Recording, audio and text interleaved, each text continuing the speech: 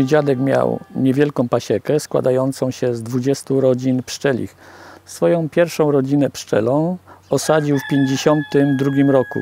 Ja jako nastolatek pomagałem dziadkowi bardzo często w miodobraniu oraz przeglądach rodzin pszczelich. W 1982 roku po śmierci dziadka zostałem jak gdyby przez babcię zmuszony do tego, żeby zająć się tą pasieką i tak to też się zaczęło.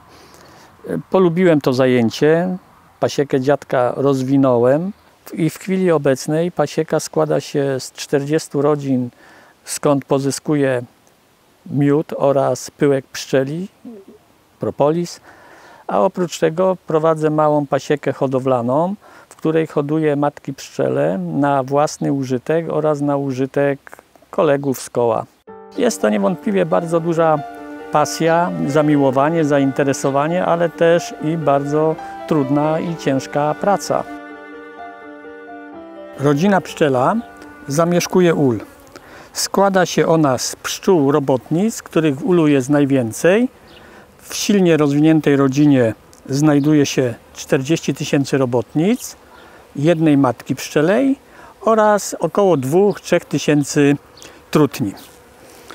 W momencie wylęgnięcia się młodej pszczoły przez pierwsze dwa dni młoda pszczoła jest jeszcze niedołężna i sama wymaga opieki, dlatego w ulu nie wykonuje żadnych prac.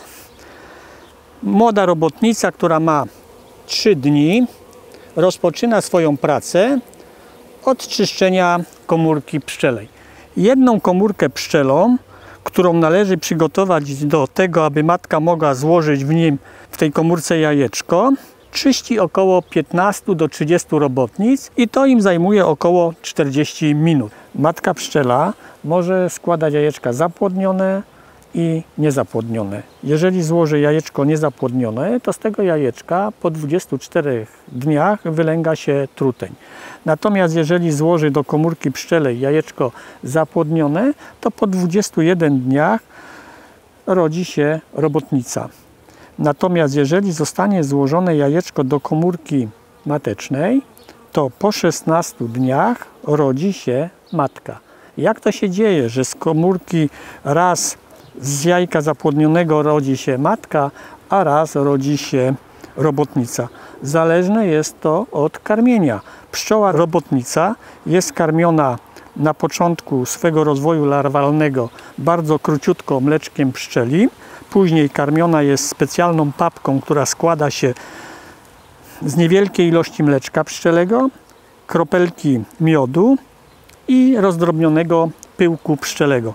Natomiast matka pszczela od samego początku karmiona jest do samego końca mleczkiem pszczelim. Stąd różnice w cyklu rozwojowym. I stąd też różnice wielkości. Pszczoła robotnica jest zdecydowanie mniejsza, natomiast matka pszczela ma dłuższy odwłok i jest lepiej wykształcona, jest przygotowana do składania jajeczek. Matka pszczela otoczona jest świtą. Świta składa się z młodych pszczół, która się nią opiekuje. Karmi ją, masuje, czyści, tak aby matkę utrzymać w jak najlepszej kondycji. Matka w okresie jednej doby składa około 2,5 do 3 tysięcy jajeczek. Rozpoczyna składanie tych jajeczek od centralnej części plastra, poruszając się takim ruchem spiralnym.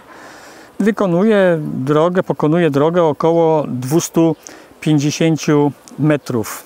Pszczoły 3-4 zaczynają u nich rozwijać się gruczoły żuwaczkowe oraz mleczne i te młode pszczoły zajmują się karmieniem czerwiu pszczelego.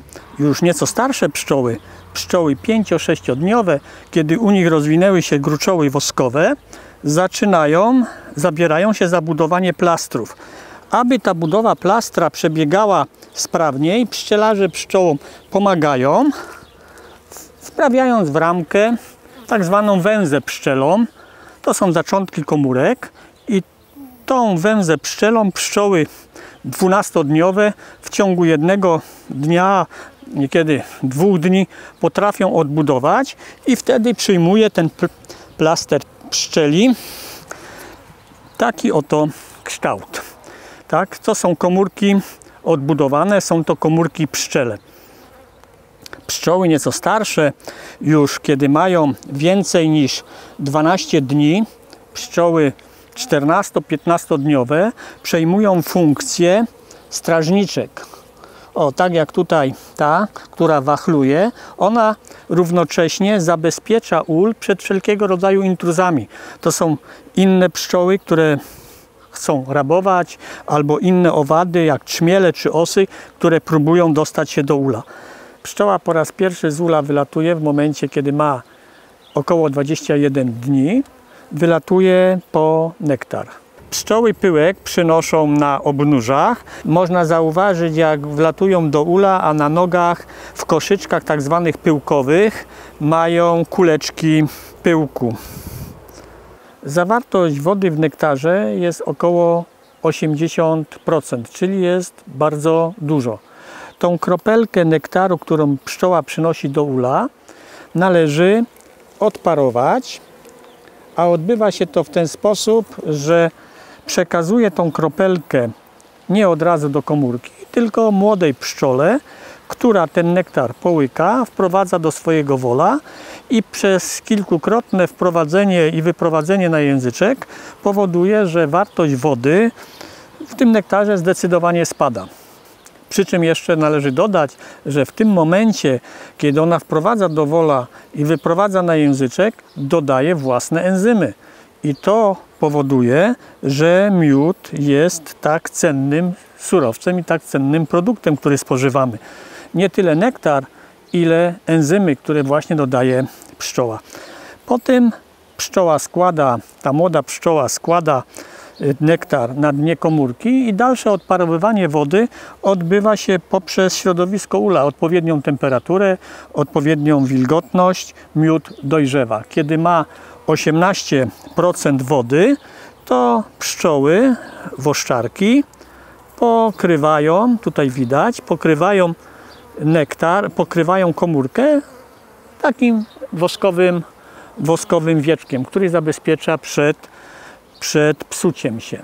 Tutaj mamy pyłek pszczeli różnokolorowy, niebieski, taki brązowy, żółty i to stanowi podstawowe białko, którym odżywa, odżywiają się pszczoły. Jeżeli pyłku pszczelego tak zwanej później po przerobie pyłku pszczelego pierzgi nie będzie w ulu, to rodziny na wiosnę będą bardzo słabe, w złej kondycji, będą ulegały różnego rodzaju chorobom.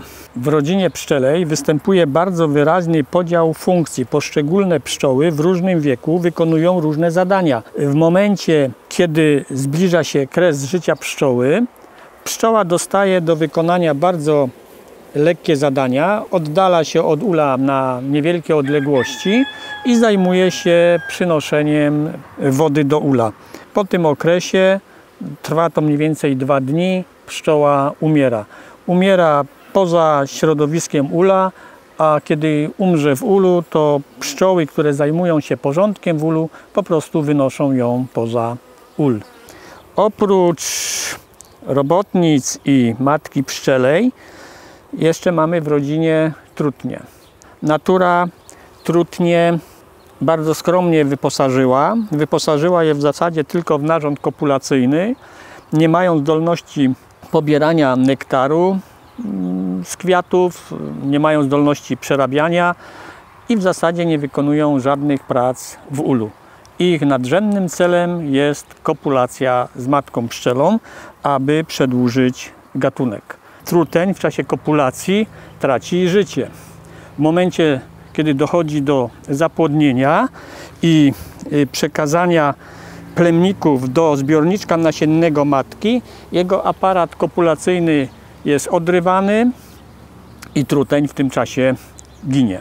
Matka pszczela na zapłodnienie wylatuje dosyć daleko od ula, bo to nie jest w pobliżu pasieki, tylko to jest w odległości około 5, a nawet 7 km. Jest takie miejsce, gdzie się trutnie zbierają i właśnie tym zbiorowisku, w tym takim miejscu, w którym corocznie się te trutne zbierają, tam dochodzi do kopulacji i do zapłodnienia. Zapłodnienie matki pszczelej odbywa się w locie. Zapłodniona zostaje kilka razy przez około 8-10 trutni.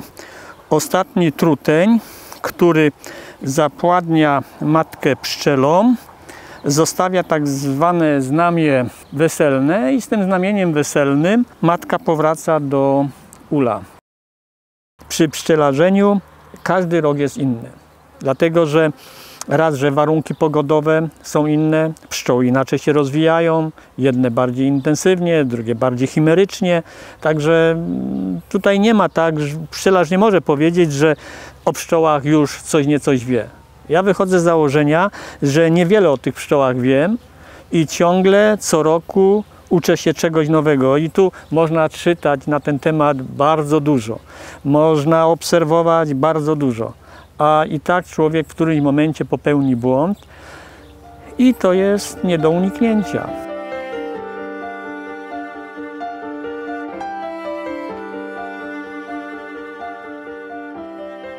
Mamy tutaj rodzinę pszczelą w pełni sezonu pszczelarskiego i taka rodzina pszczela składa się z rodni. Tutaj znajdują się, znajduje się matka pszczela, znajdują się ramki z czerwiem i z niezbędnym pokarmem do tego, żeby rodzina normalnie funkcjonowała. Na rodnie zakładamy kratę odgrodową, tak żeby matka nie mogła przejść do korpusów wyży, wyższych, tak zwanej miodni. Tutaj jest korpus z miodem. Zakłada się go na kratę odgrodową. O, w ten sposób. Także mamy teraz pewność, że matka nie przejdzie. Jeden korpus miodowy, tutaj ten jest zdecydowanie cięższy. Drugi korpus miodowy i taka mała jeszcze pół nadstawka.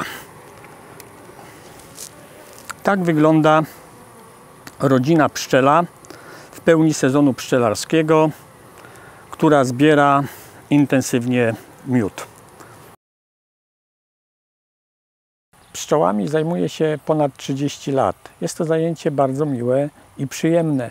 Daje człowiekowi wiele satysfakcji.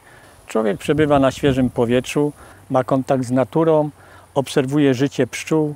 Pszczelarstwo w Polsce jest bardzo dobrze rozwinięte i mam nadzieję, że na takim wysokim poziomie pozostanie.